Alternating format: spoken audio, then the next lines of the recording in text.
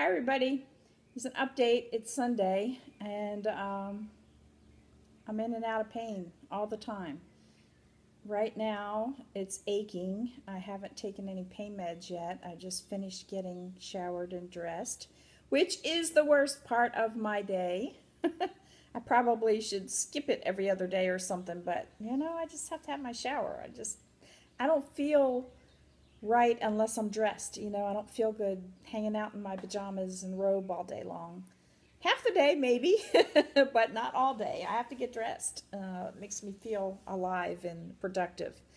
Um, anyway, Friday I had a hair appointment. I go to the doctor. I'm using my sling because it helps remind me to quit, to not use my arm because I'm using it and it's giving me pain because of that and uh, it aches. I think the cast is a little tight because I get pain right here on the top of on the top of my hand and uh, on this part of my arm and the break is like let me see if I can show you right here at my wrist and that's why they have my thumb isolated.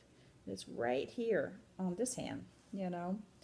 Anyway, uh, try filing your nails when when you don't have a left hand or a thumb to hold on to the nail file. It's crazy. Anyway, I'm I'm managing. I'm managing. I I, I need to quit complaining. So um, anyway, uh, Friday I had a hair appointment, um, much needed.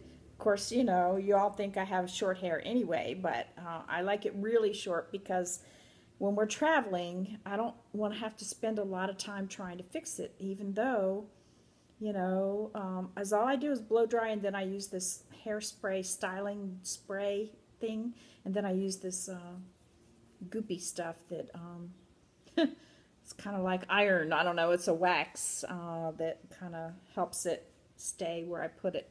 Anyway, uh, so I had that appointment, and on the way home, I can take the other way home. There's two ways home I can take. One way I can take that allows me to go past my local yarn shop.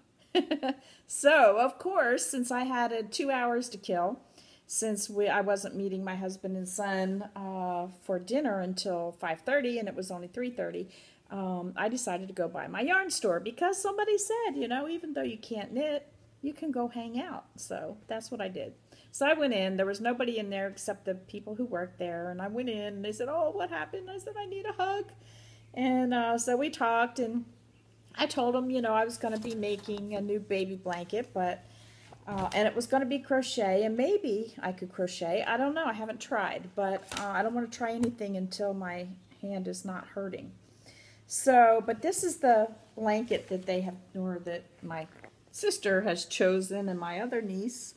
Uh, it's this blanket right here, and it is a crochet. But we're going to do where the white is white, we're going to do it red, and where the red is red, we're going to do it white. And I'm going to put a gray border on it because uh, my nephew is a Tampa Bay Bucs fan, and he said he didn't care what color the blanket was. He's just so bummed that he's getting another girl. he wanted a boy so bad. Uh, but the Tampa Bay Bucs colors are the red and gray. So uh, he didn't care as long as it had red in it. So I decided, well, you know, I'll do it the red and white, and I'll put the gray border on it so he can have a little bit of a football blanket for his new baby little girl.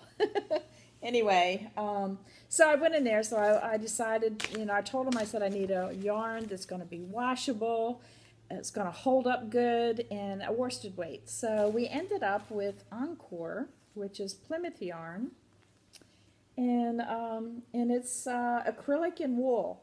And it's real squishy and soft and hopefully it won't split and I'm going to crochet. So I did get the white and I got the gray but they didn't have the red so they ordered it for me. So when we get back from our trip hopefully that will be in.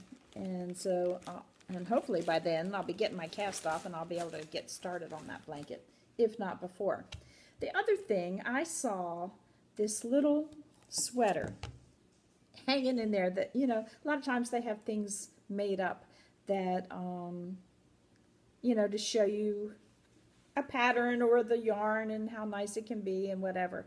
Well, this little thing, the the pattern's name. It's a paid for pattern on uh, Ravelry. It's called Wee Liesl. It's the name right there. It's this little sweater here. It's another picture of it. it is so cute. Oh my gosh, I loved it so much. Um, they had it made out of a Pima cotton, and the pattern calls for some kind of wool. I don't know, but um, this one on the pattern didn't look exactly like the one that they had in the shop. So I called the shop and I asked them to send me a picture. It also has a little beanie hat that goes with it.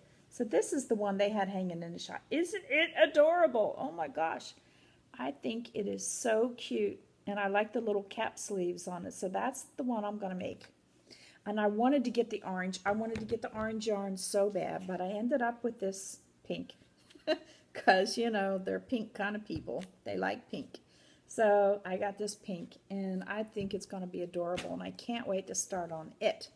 So I have a couple of projects. The other thing, you know, I've been just, I have some yarn sitting in a little bag right beside the couch where I sit, and I keep looking down at it, and I just want to start. I'm having withdrawals so bad.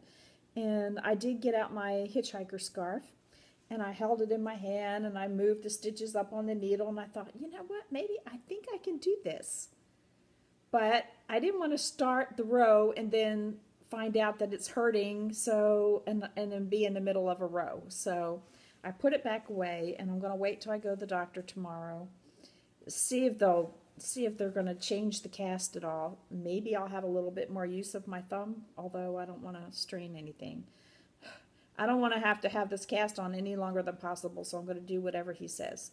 And if that means don't use my hand, don't try to knit, don't do anything, then that's what I'm going to do. Um, it's awful. I hate it. I hate it. I was so stupid standing on that stupid stool. And, uh, and I didn't learn my lesson because two days later, I was standing at the kitchen sink and I looked up at the ceiling. I saw this little cobweb thing hanging down. So what do I do? I get out the fly swatter. I pull out the chair. Now, granted, we have, look, we have these, uh, can you see? We have these padded chairs, these fabric chairs that, you know, aren't really that sturdy. What do I do? I stand on top of it and I'm wiggling the thing and, and I realize, what am I doing? I could easily have fallen again, you know. What an idiot I am. So,